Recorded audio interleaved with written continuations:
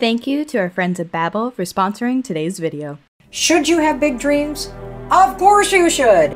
Should you dream of building a mansion on the ocean if that's your thing? Yes. Should you dream of the log cabin? Yes. If you want a Lamborghini or the new Ford Bronco, should you put yeah. Yes, yes, yes. If you want the family, if you want the body, should you think about Yeah, absolutely. Here's where everybody goes wrong. You dream about the end, you make this gorgeous collage of all this stuff that has nothing to do with your current life. that literally, as you're sitting in your studio apartment and you're looking for a job and you're staring at a mansion going, someday, it's going to make you feel like a loser because the gap between where you are and where you want to go it seems insurmountable. And so what happens based on the research is when you only visualize the end game, it's demotivating. Mm. At first it's really fun to like have a bottle of wine and make your like collage. I'm gonna visualize, I'm gonna slap this up, there's my vision board, this is fabulous. Law of attraction, baby. Come on, I'm gonna think about it, it's gonna come to me. Okay, I've been doing this for two days. Mm. I'm not I'm still in this apartment with the cat box that needs to be changed. The way to visualize properly is to visualize the bridge between where you are and where you need to go. And particularly the horrible stuff. Visualize working a day job and telling your friends that you're not going to go out tonight because you're right. working on something. Visualize making cold calls and being told no. Visualize not going to that party because you're staying in on a Saturday and not going to the barbecue because you're putting in the work. Visualize sitting at a seminar and learning from other people. Visualize watching YouTube videos. Visualize your first ever course failing miserably. Right. Literally, that's the sort of thing that you want to visualize yourself doing and pushing through because that's going to help you do the work.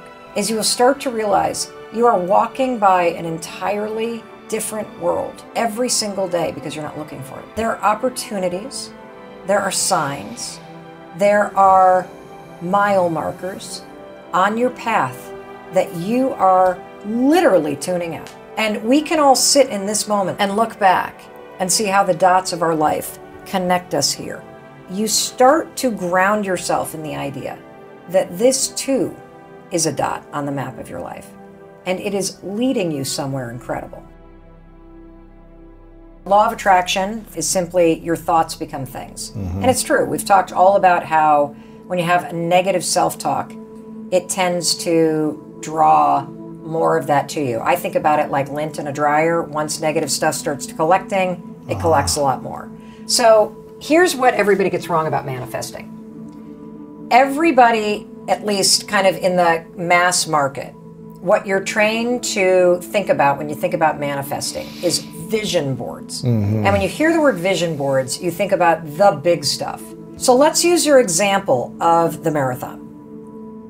The vision board would be Lewis crossing. With the arms up at the yeah, the arms up at the yes. metal. The Exactly. high fives. High fives. I did it. Yes, I did it. Exactly. That will not help you.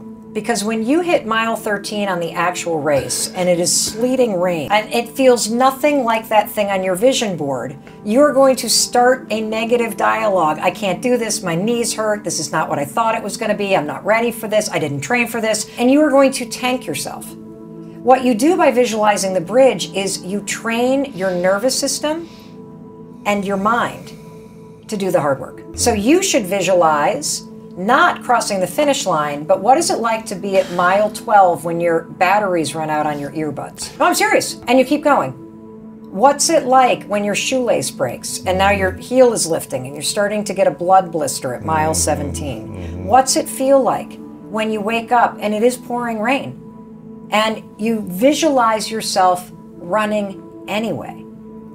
That way, when you visualize the work, you are preparing your body for it so you're not resistant to it when it comes. And so you are literally building up almost like this resilience and this muscle inside of you to do the work to get the thing. So, yeah, create the vision board, but make sure in addition to crossing the finish line, you have somebody running in the rain. You have somebody who, you have an alarm clock that says 513. You have, you know, these images that show the mm. stuff that you don't want to do. So, like for people who want to launch a business, for example, like a lot of people that I'm sure follow both of us are dying to launch a business or interested in being an influencer, social media, or making money online. And what you visualize are the checks, or you visualize the money you're going to make, or you visualize how cool it's going to be when you're a lifestyle entrepreneur, whatever the hell it is.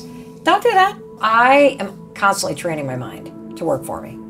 And there's this little trick that I talk about in the book that is all sort of the beginning of having a high five attitude. And a high mm-hmm. five attitude is the ability to catch yourself when you're going mentally low and to flip yourself back up into a high five attitude. Okay.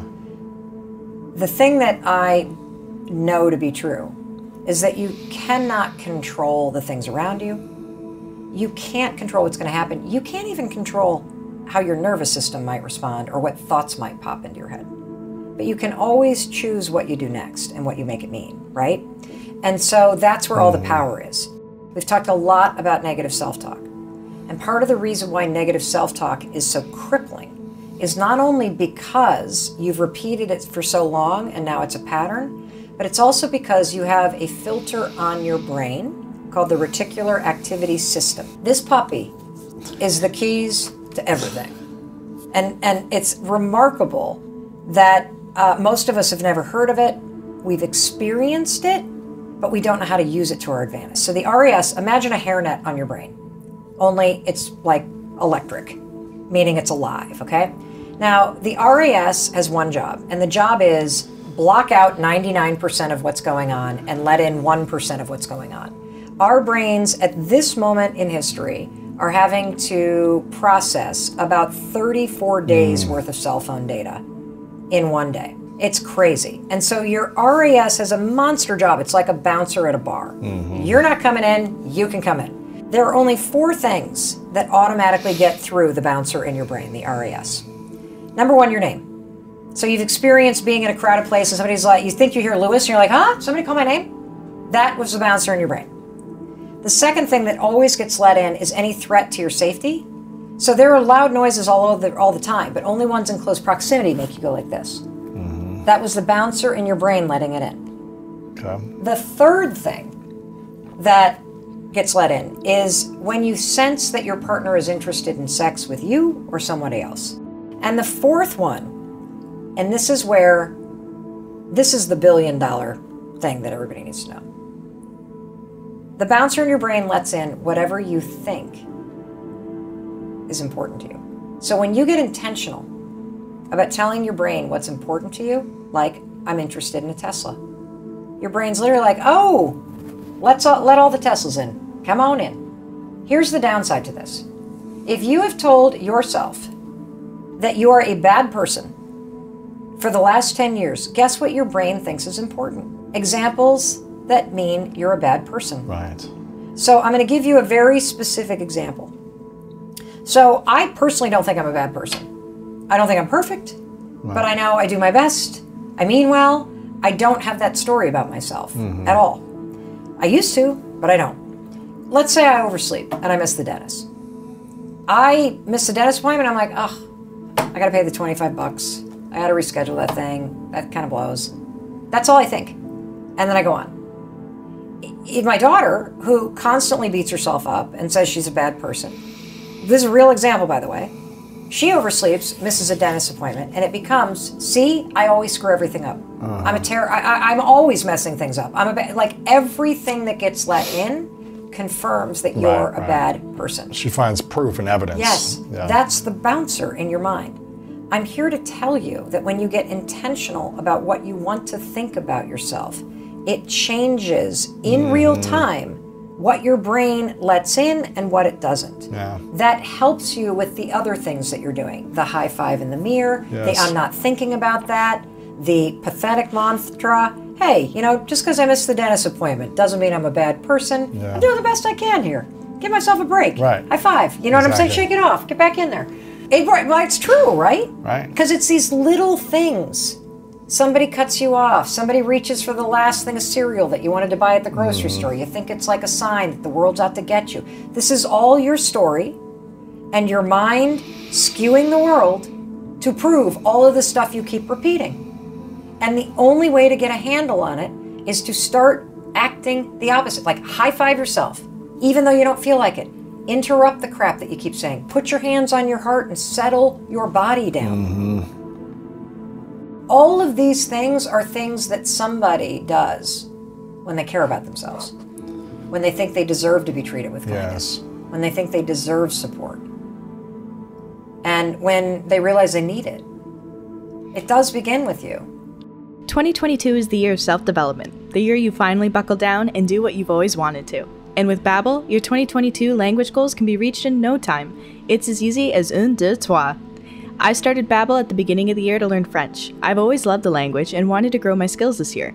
Babbel made it simple, fun, and easy to want to practice every day. Lessons are designed by real language teachers. No machine learning algorithms or AI here. You get to learn from real people with real experience. Babbel understands that not everyone learns the same way. That's why they give you multiple ways to learn the language, ranging from lessons, podcasts, games, videos, and live classes with top teachers.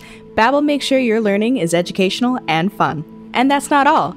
Babbel teaches you more than just the language. It teaches you about the culture, people, history, and so much more. Join Babbel today by checking out our link in the description, and you can get 65% off your subscription. Let Babbel help you reach your goals this year. Join now and see improvement in just 3 weeks. Babbel, learn a language and have real conversations.